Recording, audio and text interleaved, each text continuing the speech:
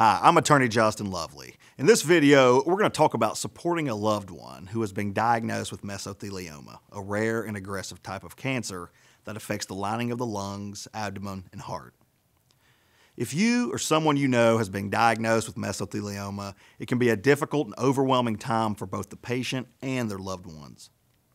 It's important to provide emotional and practical support to help your loved one cope with the challenges of the disease. Here are five tips for supporting a loved one with mesothelioma. Be a listening ear. Your loved one may have a lot of emotions and thoughts that they want to share. It's important to be there and listen to them without any judgment. Number two, offer practical help. Mesothelioma can make it difficult for your loved one to do everyday tasks. Offer to help with things like grocery shopping, cooking, and cleaning. Provide emotional support. It's normal for your loved one to feel scared, angry, or sad. Be there to listen and offer words of encouragement and support. Educate yourself.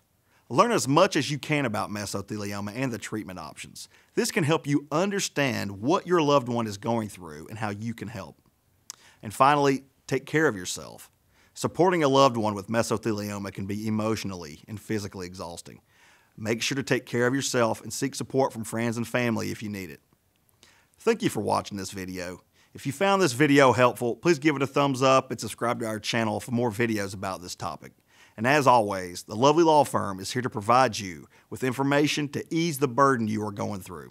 Watch our other videos on this topic and please reach out if you would like my team to investigate your situation.